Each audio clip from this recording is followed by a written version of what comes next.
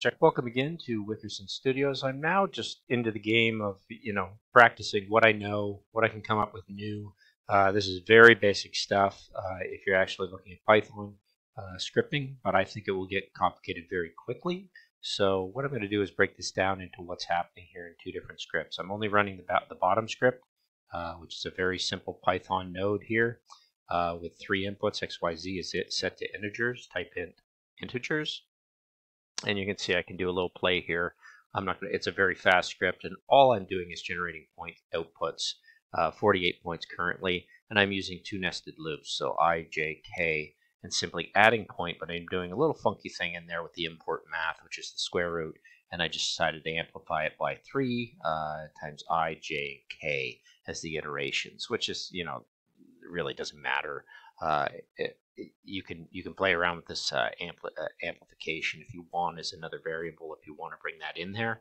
Um, then I simply am making a uh, I'll just show here my little daughter screaming away, but uh, put on bifocal. You see I'm making surface from points, which is basically just using one of these values of x, y, z. Uh, I think x or y, so it works. I'm doing a four point rotation, and then I'm doing a uh, pro projection down to the base plane, I'm finding the surfaces, uh, simplifying and grafting both, and then lofting between them, merging everything, and then doing a mirror in the base. So what's actually happening here when we go into here is I'll show you. But right now I'm going to take this, I'm going to uh, leave my turntable. I'll probably take this rendering off, uh, put this back on. Yeah, we'll just leave the render as it is, and we won't run the bottom script quite yet. Uh, we'll disable that, and we'll run the top script, which is uh, a little different. Um, we'll take that and we'll do enable. I think that one is enabled as well.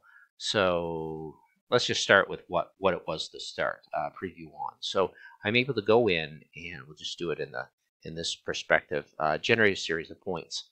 And it's a pretty cool point system because it's coming from uh, this little tiny script here, which is pretty dead simple. Import Rhino script syntax as RS, import math, create a point list, uh, uh, points A as an empty list uh, for iteration uh, for i in range x.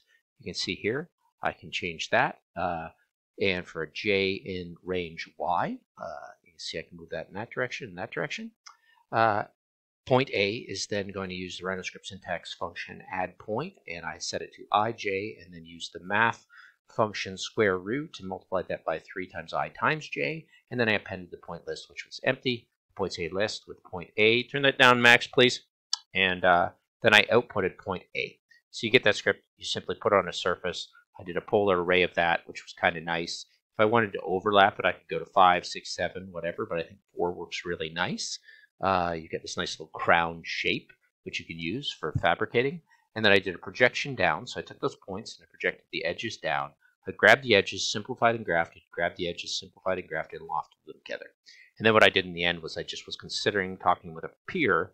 Uh, what could we grab if we thought of this as tent poles? We could actually make uh, radii for the tent poles, and we could cap them if we like. Let's just cap them round and see what happens here. And uh, there we go. We've got little capped surfaces. And if we didn't want to just grab those, we'd grab all the lines and do curves, and then you'd see all the curves that you need to make this tent pole. So very nice little beginning, and in the end you have that, and if we put this on, you'd see the whole structure. So nice little tented architecture, and that's kind of fun, all made from a little bit of uh, nested loops in Python. Great little exercise. So uh, you can grab that file off of my GitHub, or uh, hopefully you'll be supportive in Patreon if you want to do that, so I can keep going with this. But otherwise, I'm doing okay on my own. Um, we will take this to disable, and then we'll go down here and we'll do this one. So I'll enable all of this one, uh, and you'll see the difference in that. And I'll break that down. And in render, it's a little hard to see, so I'll put it back in shaded and see what's going on. Uh, not too exciting to look at, but the render's got something nice. Um, so what I've done here is let's close out the other script. Let's open this one. And there it is. And you'll see all I did was added another nested loop and multiplied the k into that equation. So it's very similar to the first one.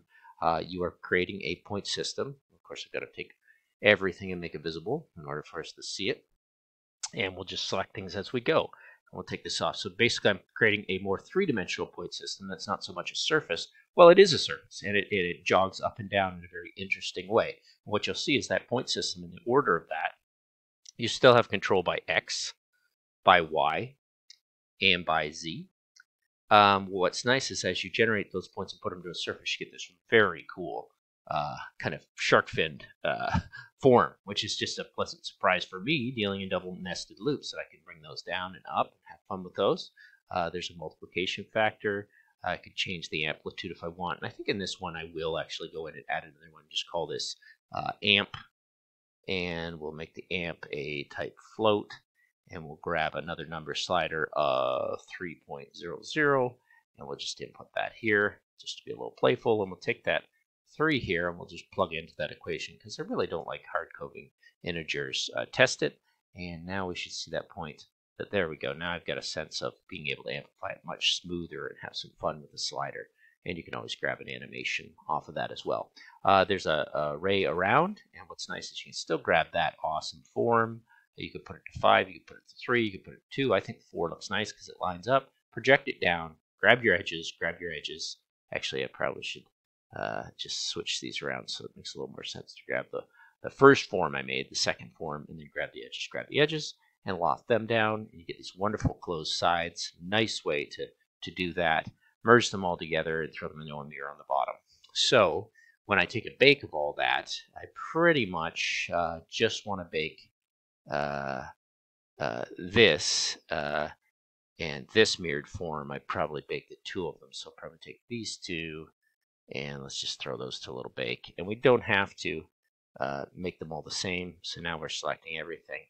Uh, what I did before was I didn't bake them like that. I actually baked this one as a bake as a group.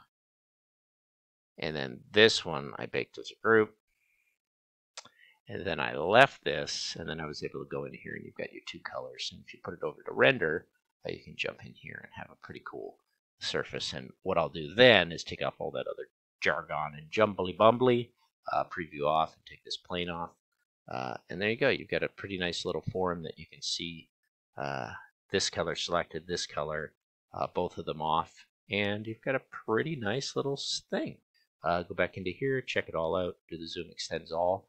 Very nice shape, very nice form, cool sculpture, still staying on symmetry.